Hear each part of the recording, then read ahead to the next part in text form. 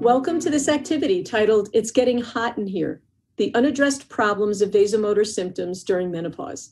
My name is Dr. Nanette Santoro. I'm professor and E. Stewart Taylor Chair of Obstetrics and Gynecology at the University of Colorado School of Medicine.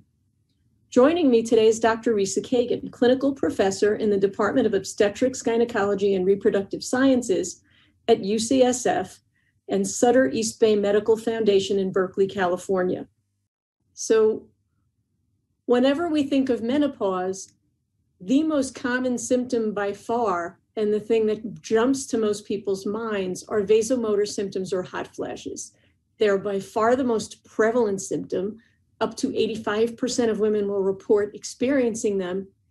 And they last longer than we uh, used to believe. We used to think that hot flashes lasted for about four to five years.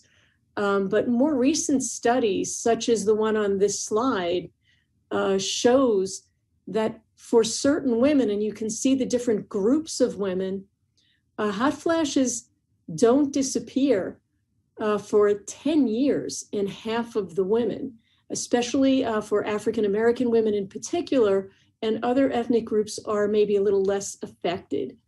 Uh, there's also a certain portion of women for whom hot flashes will just never go away.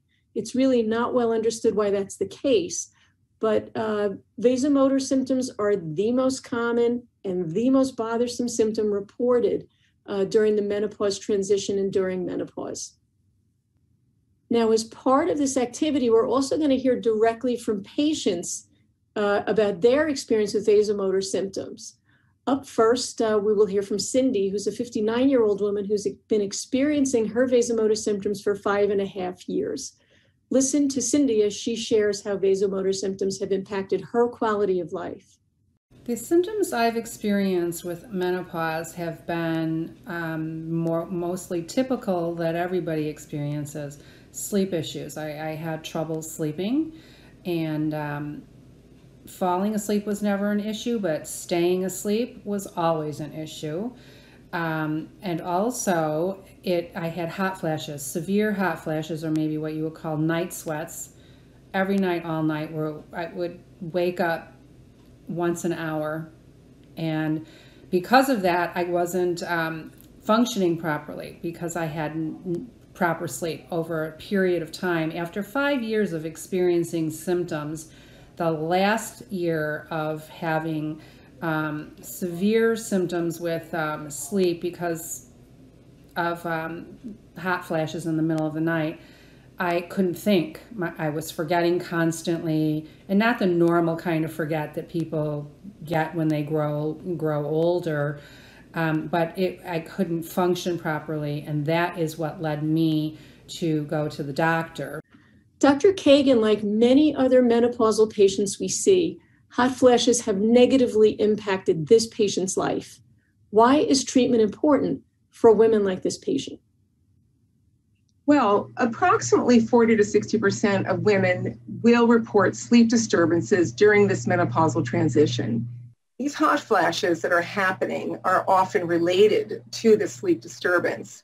And the prevalence of insomnia in general increases with the severity of hot flashes, and, and that has been shown in numerous studies. And the odds of experiencing depression, anxiety, dysthymia, mood disorders during this menopausal transition increases as well. Um, any woman who's been through this will tell you that this is not just like a little quiet you know, flame inside themselves. This really can interfere with their quality of life overall. Um, VMS has been reported to have a significant impact on both health status and work productivity over and over again. And we are all in the workplace these days.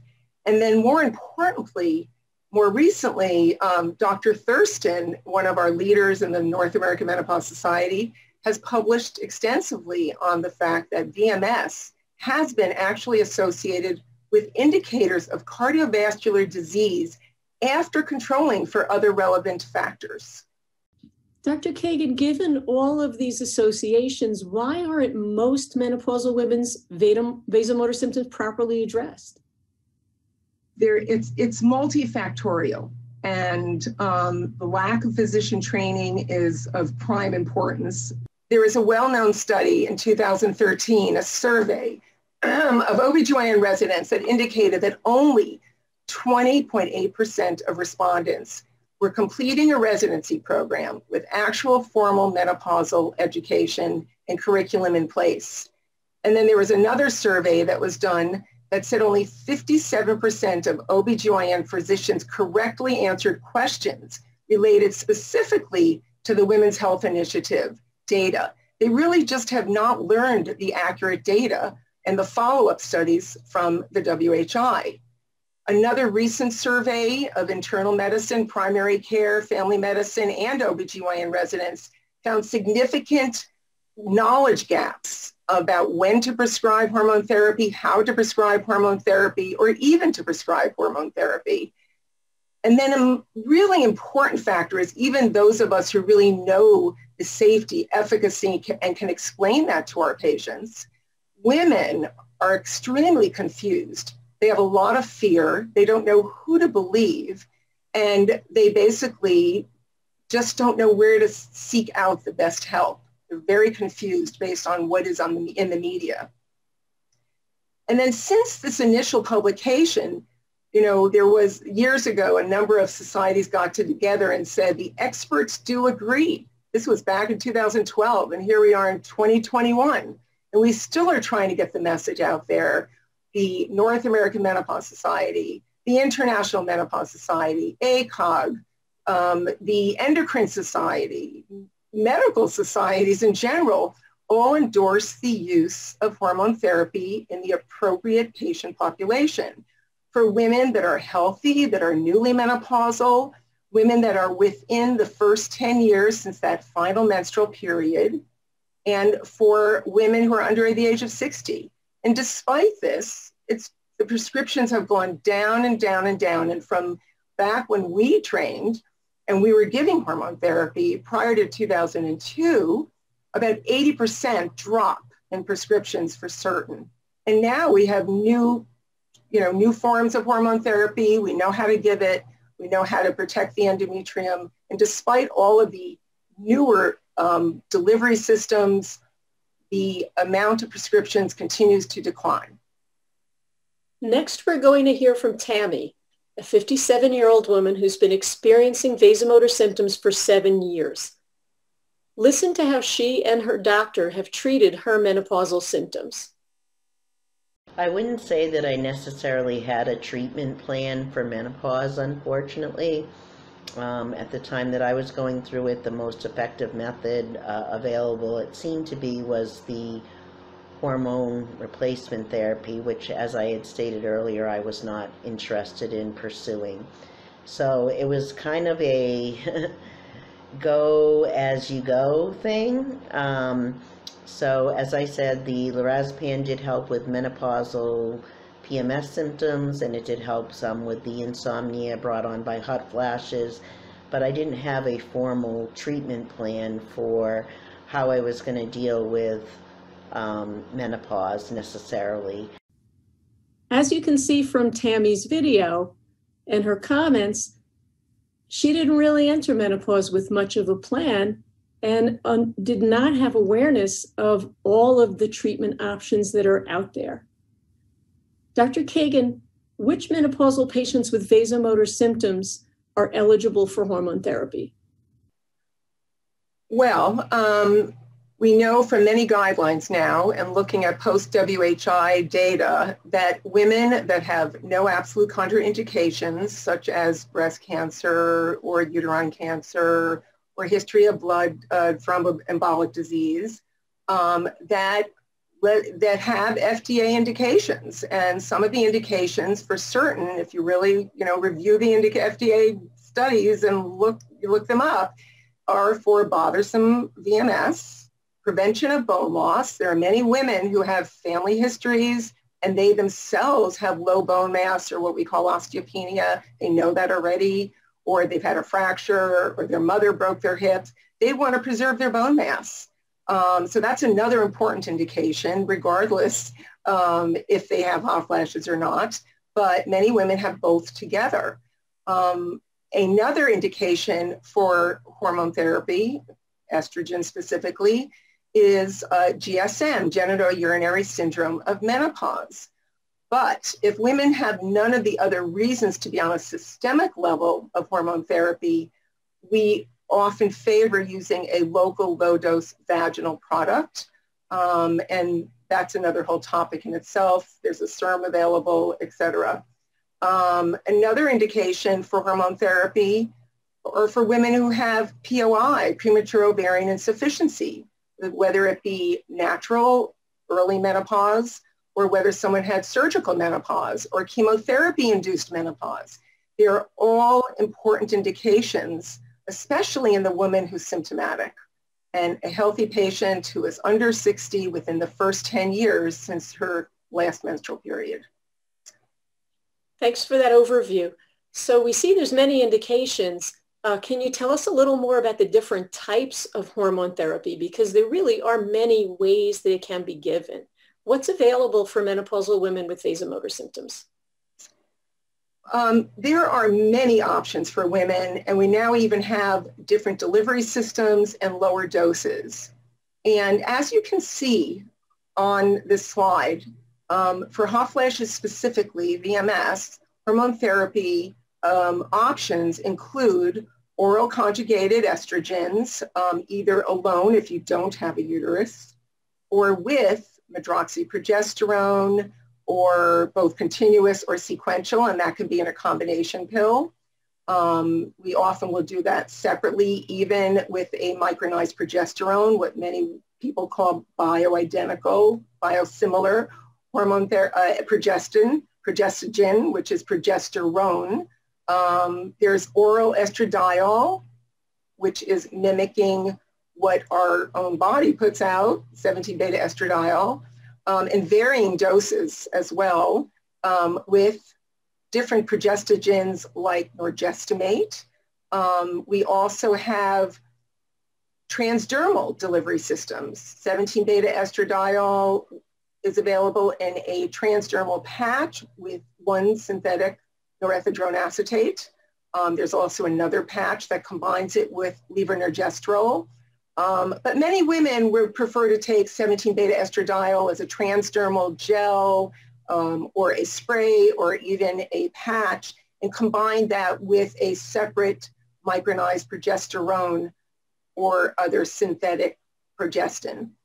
Um, for women who do not have a uterus, taking estrogen alone, whether it be oral conjugated um, estrogen in varying doses or even oral 17-beta estradiol also exists. We do have something very novel and different, which many may know about or not from um, pairing an oral conjugated estrogen in a specific dose with a SERM called bazedoxifene. You just can't take any estrogen or any SERM and put them together. That's been tested. But this specific combination called a TSEC, a tissue selective estrogen complex, has been studied and approved for VMS as well as prevention of osteoporosis. I want to point out to everybody also that we do have a systemic level ring of 17-beta estradiol in two doses.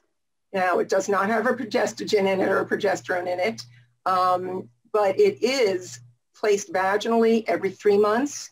And this is different, and I'm going to say the brand name now because many people don't know about it. It's called Femring, as opposed to a local vaginal product that most of us use called an Estring.